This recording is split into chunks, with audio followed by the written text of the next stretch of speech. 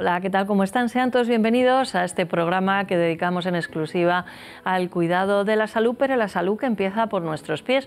Por eso está con nosotros el doctor Jiménez. Doctor, bienvenido. ¿Qué tal, María José? Encantado de participar en este programa y, hablar de esa parte tan distal de nuestro cuerpo como son nuestros pies. Por supuesto que sí, además con la participación de nuestros espectadores que tienen oportunidad también de preguntar al, al doctor Jiménez.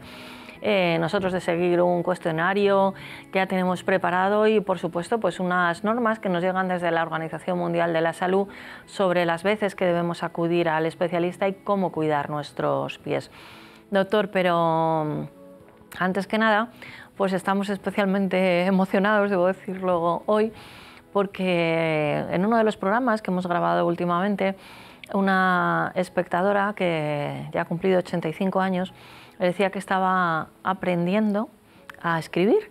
De hecho, cuando yo le daba el teléfono de su consulta, me decía, dímelo despacio que estoy aprendiendo a escribir. Y yo le dije, bueno, pues nos manda una nota eh, cualquier día. Y me ha llegado la nota a través de un correo electrónico que manda su, su, nieto.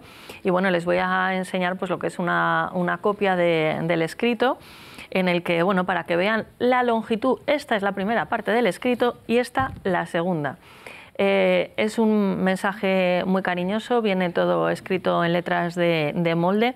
Debemos decir que con muchísima corrección y es una persona eh, que no sabía que no sabía escribir, que pedía el teléfono del doctor y además que se preocupaba por su hija. Recuerdo que su hija trabajaba en el Museo del Jamón y decía que pasaba muchas horas de pie y tenía los pies como ensangrentados y, en fin, yo creo que estas son las, las cosas y los testimonios mm, que nos llegan al alma, ¿no? Exacto, que nos llena, ¿no? Porque, y, y aquí denota que no hay edades para aprender, ¿no?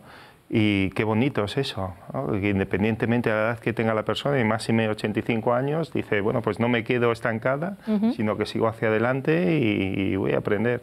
Y bueno, en verdad que sí, sí. Hemos contestado y, bueno, y queremos agradecer, por supuesto, también a, su nieto, a Carlos. No digo los apellidos porque como no le he pedido autorización, pero bueno, Carlos, hasta ahí sí que puedo leer esta tarjetita. Gracias por ponerte en contacto con nosotros. Bueno, el teléfono de participación en este programa es el 91 543 2294, 91 543 2294 y tenemos a María Teresa. Hola, María Teresa. Hola, buenas tardes. Hola. Eh, Mi puede hablar, ¿no? Sí, sí, le iba a decir que tenía al doctor Jiménez a su disposición, pero ya he visto que se ha ah, tirado a la piscina. Buenas tardes. Muy bien. Pues, Buenas tardes, doctor. Pues mire, yo llevo con un diagnóstico un poco incierto de hongos en la uña, sobre todo del dedo gordo, del, de los pies. y llevo tomando, bueno, por prescripción facultativa de mi médico de cabecera, eh, un, un barniz de uñas que se llama amorolfina. Esto es un tratamiento súper pesadísimo. Llevo como tres años con ello eh, todas las semanas, dos veces, limar la uña, darle el barniz, enviar y, así.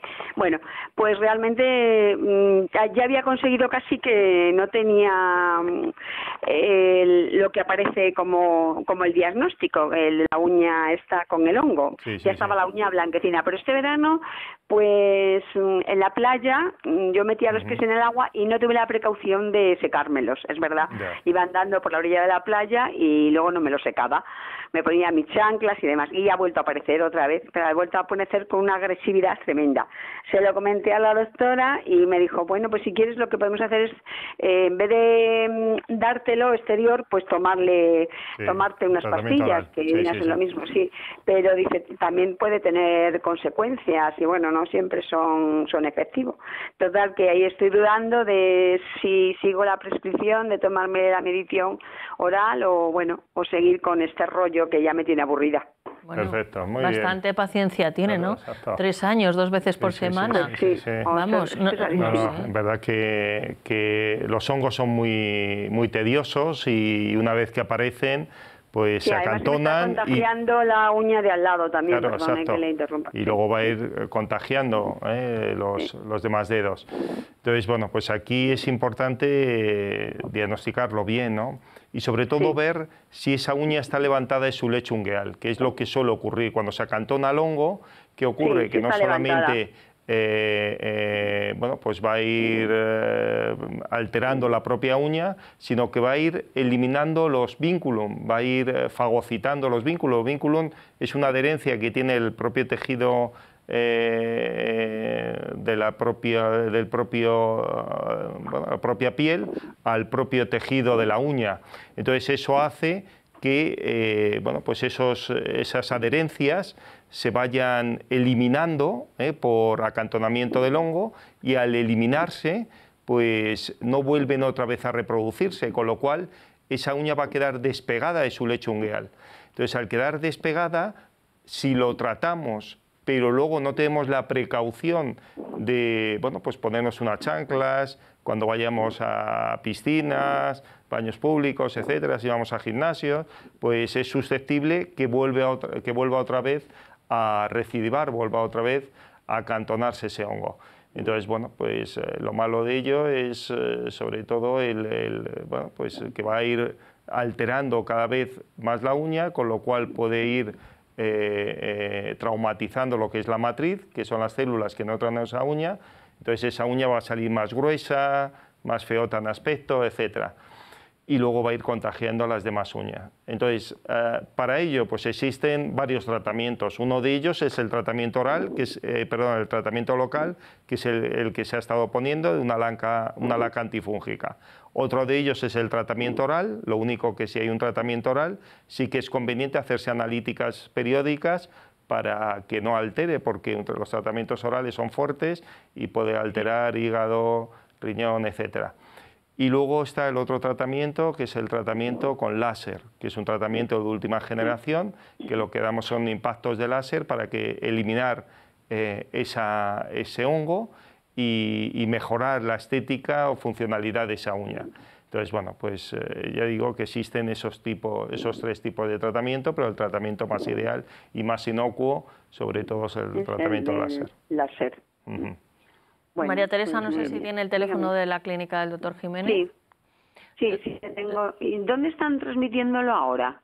¿O no? No hay ninguna donde lo pueda no. Sí, ahora, ahora mismo le, nuestro equipo de producción se lo, se lo, se lo dice. vale, pues de todas maneras, ya sabe que la primera consulta es informativa y gratuita en Clínica Jiménez para que, porque claro, es a través de de teléfono y, nos ha dado una serie de indicaciones, pero bueno, convendría que, que el doctor Jiménez eh, la viera. Un abrazo y gracias por participar. Muchísimas gracias a, ustedes. Buenas que tenga un feliz día. Eh, Ramón. Sí. Hola, ¿qué tal? ¿Cómo está, caballero? Pues bien, bien. Adelante con su pregunta. Tiene al doctor Jiménez. Muy bien, Ramón. Bueno, pues, mira, eh, eh, vamos a ver, mira, yo voy a explicar un poquito el tema. Soy, tengo 68 años, mido unos 64, eh, mm, soy diabético tipo 2, hago todos los días gimnasia, me gusta la caza y tengo un problema que llevo ya unos 8 o 10 años que me duelen mucho los talones. Cuando ando y demás, la parte, eh, la parte última del talón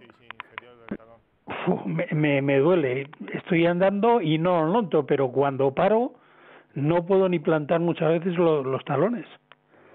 Bueno, pues eh, aquí Ramón habría varias causas, ¿no? Lo importante es diagnosticar bien la patología y para eso hay que hacer varias pruebas, entre ellos una prueba que eh, la catalogamos como el Foroscan y el Foroscopio, que eh, son dos pruebas de diagnóstico que lo que hacen es visualizar el tejido óseo eh, en sus 360 grados, con lo cual vamos a ver todas las caras del propio tejido y el, el propio tejido blando.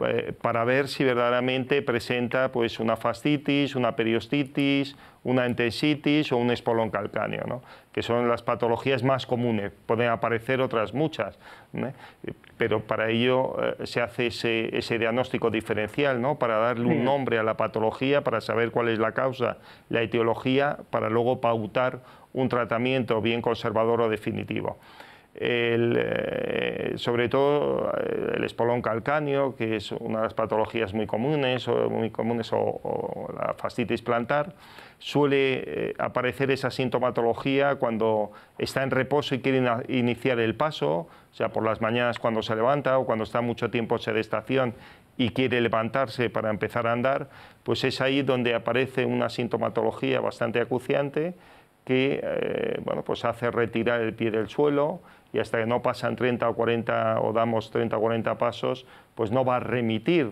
no va a mitigarse esa, esa, sintomatología o inclusive cuando estamos mucho tiempo de pie quieto o hacemos una vida muy activa. Entonces, bueno, pues aquí lo importante, como hemos comentado, es saber cuál es esa etiología, esa causa, ¿eh? y una vez que eh, la diagnostiquemos, pues pautemos tratamientos conservadores por medio de infiltraciones de ácido hialurónico y colágeno, no tiene efecto secundario, no lleva corticoide, junto con soportes plantares de última generación que lo que hagan es distribuir y equilibrar todo su peso corporal para neutralizar esa pisada, o bien pautar más un tratamiento definitivo como es la intervención si verdaderamente se viera que eh, eh, falla todo tratamiento conservador. ¿no? Entonces, bueno, pues como le comento, hay que diagnosticarlo y tratarlo. Estupendo. Entonces hay que ir a la clínica para que más o menos me hagan una, una exploración. Perfecto. ¿Tiene el teléfono de Clínica Jiménez? Sí, sí, lo tengo.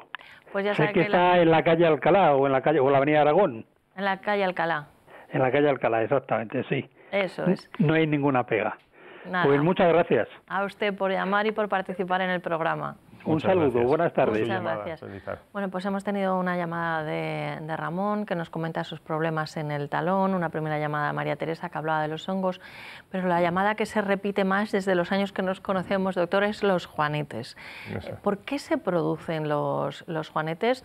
Y hay una pregunta que también es recurrente, si son hereditarios. Muy bien, pues eh, el juanete es un crecimiento normal del hueso es una alteración que aparece en la primera articulación metatarsofalángica, en la primera articulación del primer dedo, y en su cara interna pues aparece esa protrusión del hueso. Eh, y según vaya eh, bueno, pues, eh, cumpliendo el tiempo, pues iremos viendo mayor protrusión de ese huesecito, pero no solamente se va a circunscribir en ese crecimiento normal, sino en la desviación del primer dedo se va a ir angulando cada vez más también eh, las angulaciones eh, intermetatarsales, la angulación entre un metatarsiano y otro. Eh, claro, el, juanete es como se conoce a nivel coloquial, como lo conocemos a nivel técnico, pues es el alus adductus valgus, significa crecimiento normal del hueso, con desviación del primer dedo y angulación intermetatarsal todo esto eh, va a provocar un deambular deficitario, un caminar bueno, pues no adecuado. Esto va a ir alterando no solamente esa primera articulación metatarsofalángica, sino va a ir alterando todo nuestro aparato locomotor, como es tobillo, rodilla, cadera y columna. O sea que una alteración patológica que confiere en una articulación tan importante como es la articulación del primer dedo, el dedo gordo del pie, cómo puede contribuir negativamente a todo el aparato locomotor. Solución a través de cirugía. Exacto. O sea, todo va a depender del grado de alteración. ¿eh? Existen eh, primer, segundo, tercer grado. Entonces, dependiendo del estadio en el que nos encontremos, pues vamos a recomendar más un tratamiento conservador por medio de ortosis de silicona. Es un aparatito que se hace a medida. Nunca conviene que se haga eh, estandarizado porque podemos lateralizar más los dedos colindantes y, luego llevar un buen soporte plantar para que redistribuya, equilibre y mantenga todo ese peso corporal y no se focalice las presiones. Porque lo malo de la articulación del primer dedo que es eh, la más importante, la última fase de la marcha, si no está posicionado ese dedo en su eh, posición anatómica, pues van a hacer una funcionalidad que no le competen a otros huesos, como son los metatarsianos. Y esos huesos se van a ir hundiendo, se van a ir sobrecargando, y al irse sobrecargando y hundiendo, pues irrefutablemente va a ir alterando toda la zona plantar, con lo cual el día de mañana va a aparecer molestias a nivel de la planta. Eh, el juanete pues, es una de las patologías que en el 80% de las personas que lo padecen pues, es asintomático, no da sintomatología dolorosa. Esto no significa que sea más traumático o menos traumático que aquel que duela. ¿no? Eh, irrefutablemente, si no duele, pues mucho mejor. ¿no? Pero eh, va a ir alterando igualmente todo el aparato locomotor. Entonces, duela o no duela, siempre hay que tratarlo, sobre todo porque altera otros huesos colindantes a ello. Entonces, eh, como hemos comentado, tratamientos conservadores por medio de ortosis y soportes plantares y eh, si vemos que ya hay una angulación que está perturbando nuestra forma de andar y caminar, pues vamos a aconsejar a la persona pues intervenirse, eh, que sería la solución definitiva, que consistiría en poner un punto de anestesia local, una vez anestesiado se hace una pequeña incisión, se elimina esa excrecencia ósea, se dan dos impactos para provocar dos osteotomías, dos microcortes en el propio tejido óseo para dejar ese dedo en su posición recta. Son cirugías ambulatorias donde el paciente sale caminando una vez intervenido y el posoperatorio en el 90% pues suele ser indoloro. Bien, pues vamos a seguir recibiendo llamadas. Si quieren participar pueden marcar el 91 543 2294, 91 543 2294, como ha hecho Mercedes. Hola Mercedes. Hola, buenas. Adelante con su pregunta. Coméntenos.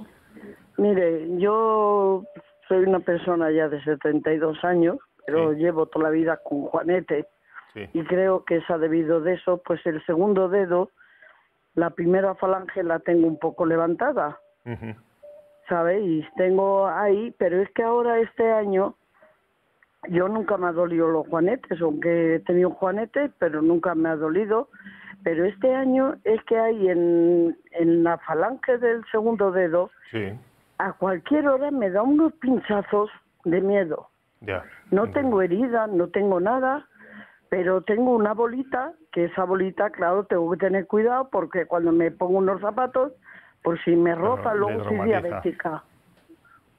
¿Sabes? Soy diabética y tengo un miedo, pues horrible. Exacto, lógico, lógico. ¿Sabes? Aunque llevo ya muchos años yo no tengo heridas en los pies ni tengo nada. A mí, claro, cuando me rozo o algo, pues tengo que tener mucho cuidado. Tardo un poquito más en curarme, pero realmente no tengo nada en los pies.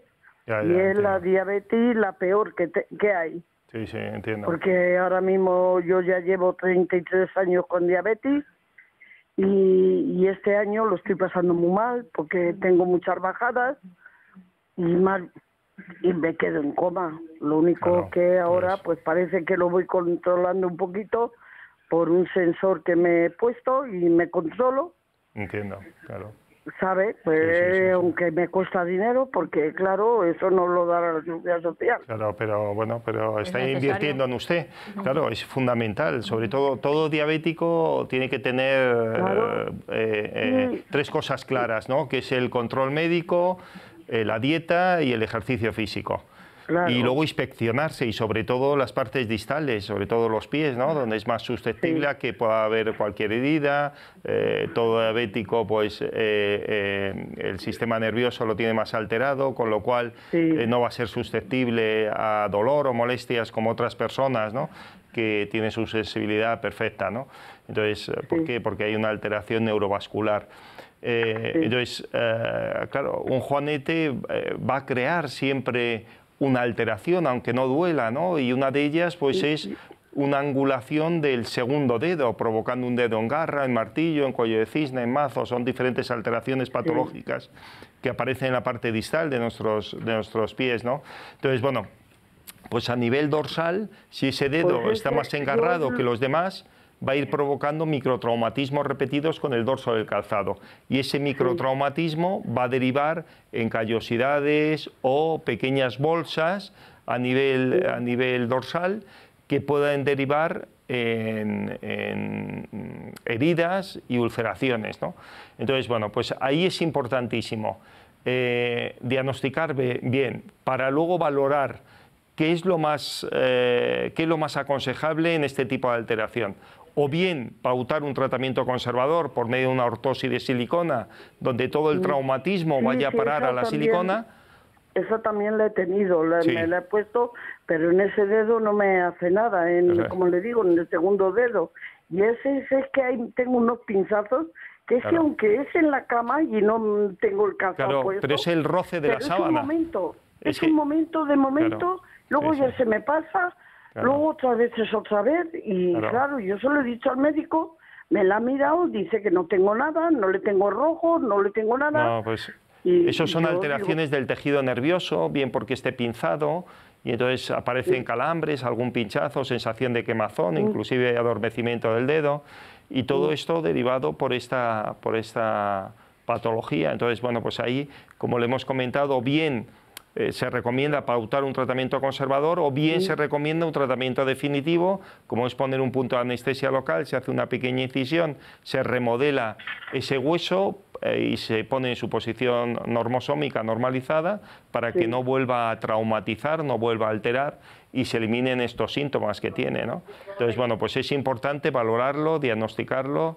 y si fuera susceptible de ello, tratarlo. Si yo pudiera ir a su consulta, lo único que yo, claro, estoy en un pueblo y lo único que lo vi el otro día en la televisión, por eso llamé, porque era ese día que estaban hablando de esas cosas y claro, yo sé que, que eso, pero Mercedes, yo, lo sé. Yo si quiere le, facilito el teléfono de la consulta de Clínica Jiménez y ya ve no, usted. le tengo, le ah, tengo tiene. Pues la primera consulta es informativa y gratuita, así que usted pues verá. Bueno, pues ya a ver si voy para que me lo vean. Perfecto. Eso, ya se lo dice con más pues exactitud. y mucho ánimo. Vale, ¿eh? muchas gracias. Un abrazo. A usted por su llamada. Es que Em, los pies cuando no está uno bien porque dice sí bueno pues a lo mejor es que me duele pues nosotras no pues me pongo menos tacón o llevo un zapato más, más cómodo pero no estamos hablando que repercute en todo el cuerpo y en el estado de, ánimo. Exacto. Solamente lo sabe el que lo ha padecido no mm. eh, es verdad que el pie lo llevamos encarcelado dentro de un calzado y bueno, pues nos olvidamos sin verdaderamente no molesta. que se libera un poco. Y, pero cuando aparece una alteración vemos lo invalidante que es, ¿eh? Mm. cómo nos, bueno, nos invita a estar sentados, a no caminar y esto es un perjuicio para la persona y sobre todo un diabético donde tiene que hacer vida activa. ¿eh? Entonces, bueno, pues... Hay que tener mucho cuidado también, que no solemos hablar del calzado que, que se utiliza y, por ejemplo, aunque cada vez más se hacen campañas sin prevención eh, con las familias que igual pasan los zapatos de unos niños a otro, ojo, ¿no? Que cada, cada peque, que tengan un buen par de zapatos y no se puede más, pero uno que sea, que sea de él, porque cuando están deformados hay algunos que les crecen muy rápido los pies y no da tiempo ni a deformarlos, ¿no? Pero son los menos.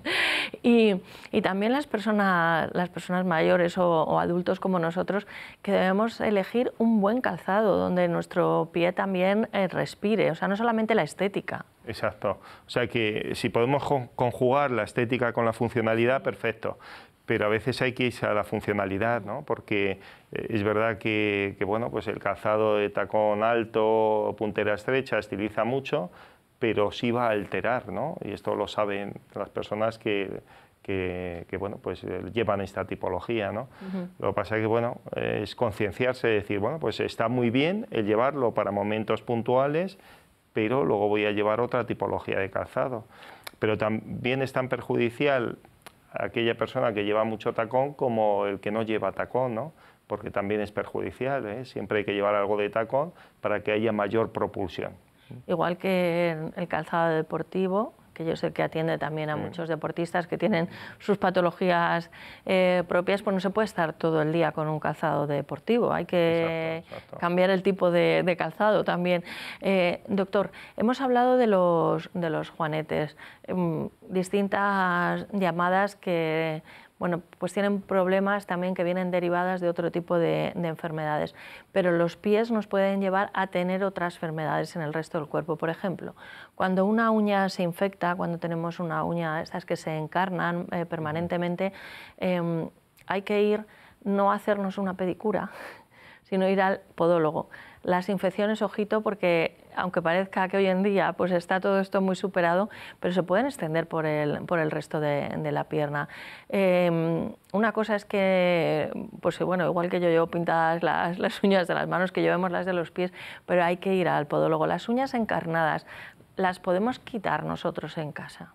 Claro, en eso hay que tener mucho cuidado, ¿no? Sobre todo si padecemos una alteración, una entidad patológica como es la uña encarnada, significa que hay un abarquillamiento de la propia uña, de su propia matriz, eh, a lo cual esa uña cuando vaya creciendo va a ir sesgando el tejido blando y al sesgarse el tejido blando pues va a provocar una pequeña heridita y esto va a infectar provocando un mamelón carnoso, que es una protrusión del propio tejido.